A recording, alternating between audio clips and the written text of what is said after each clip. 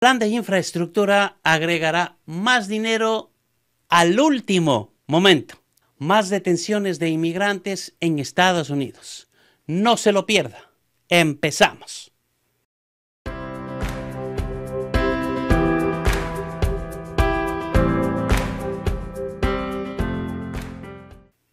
Las detenciones de inmigrantes en Estados Unidos han aumentado a pesar de las promesas de campaña del presidente Biden. Suscríbase a este canal y quédese hasta el final del video.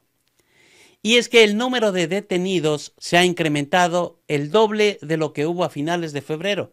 Casi 27 mil personas se han detenido hasta el 22 de julio, con datos del control de inmigración y aduanas de Estados Unidos, ICE, por sus siglas en inglés.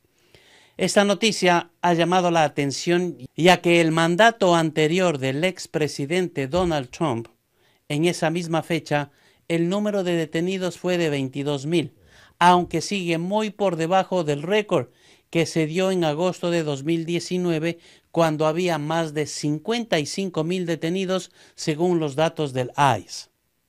Ahora, los aliados pro inmigración del presidente Joe Biden, que tenía fe en que cambiaría de alguna forma la estrategia, sienten esta situación como un accionar doloroso, ya que el presidente había prometido en campaña que pondría fin a la detención prolongada y el internamiento de inmigrantes en prisiones privadas, que alojan a la mayoría de las personas retenidas por el ICE. Hasta el momento el gobierno canceló en mayo los contratos de dos controvertidos centros de detención de servicio de control de inmigración. También Biden ha propuesto financiar 32.500 camas de detención para inmigrantes en su presupuesto de ligera reducción de las 34.000 financiadas por Trump. Según un vocero de la Casa Blanca, el presupuesto de Joe Biden reduce el número de plazas de detención del ICE y transforma parte de los recursos para tramitar salidas en libertad condicional y otras alternativas. Ahora, el secretario nacional Alejandro Mayorkas dijo en una comparecencia reciente ante el Congreso que está preocupado por el uso excesivo de la detención y prometió seguir revisando los centros problemáticos. Según datos de la agencia, hasta el mes pasado, más del 80% de los detenidos habían sido capturados por agentes de patrulla de frontera y menos del 20% por agentes del ICE. Y si comparamos con julio del año pasado, bajo el mandato de Trump, el 40% habían sido detenidos por la patrulla de fronteras y el 60% por el ICE. Para Andrew Arthur, miembro del Centro de Estudios de Inmigración, esa información implica que la mayoría de los detenidos fueron capturados cuando intentaban entrar en el país de forma ilegal y no por agentes locales de inmigración. Cuénteme qué opina de esta información. ¿Cree que se deba intensificar las leyes migratorias? Pasando a otras noticias, se ha dado a conocer que el plan de infraestructura bipartidista que se está abriendo camino en el Senado agregará 256 mil millones al déficit federal para la próxima década.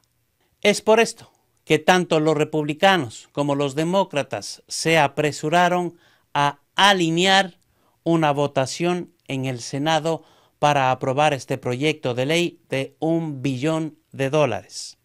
La Oficina de Presupuesto del Congreso no partidista llegó a la conclusión sobre el costo de la legislación que fue uno de los obstáculos importantes para aprobarla y mostró que casi la mitad del nuevo gasto, 256 mil millones de dólares, se financiaría aumentando la deuda de la nación de 2021 a 2031, lo cual da como resultado una contradicción a las afirmaciones de los defensores republicanos y demócratas de que la medida se pagaría por sí sola. Por estos hechos, los organismos de control enviaron una advertencia diciendo que los legisladores han utilizado trucos presupuestarios para ocultar el verdadero costo y los hallazgos podrían hacer que algunos republicanos se resistan a aumentar los impuestos o aumentar los déficits, pero según declaraciones del partido han acordado apoyar la legislación.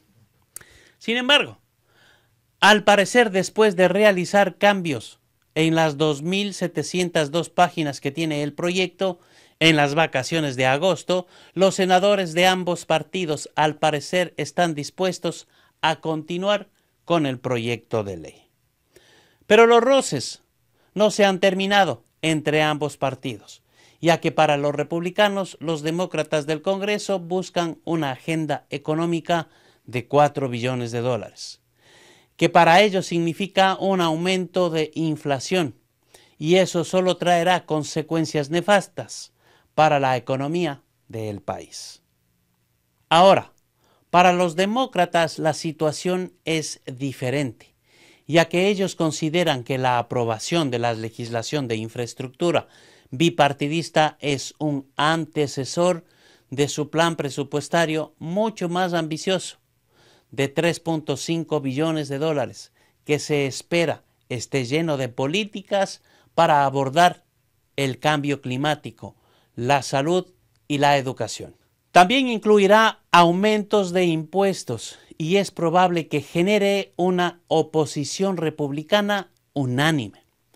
Es por esto que el senador Chuck Schumer, líder de la mayoría, ha expresado que una vez que se apruebe esta ley se buscará la manera de adoptar el plan presupuestario que pondría al Congreso en camino para aprobar este paquete más grande. ¿Qué opina sobre las acciones que se están tomando? Cuénteme por favor en los comentarios. Será un gusto leerlos y contestarlos. No olvide suscribirse a este canal, darle un me gusta a este video, compartir y activar la campana de notificaciones. Muchas gracias, que tenga un excelente día.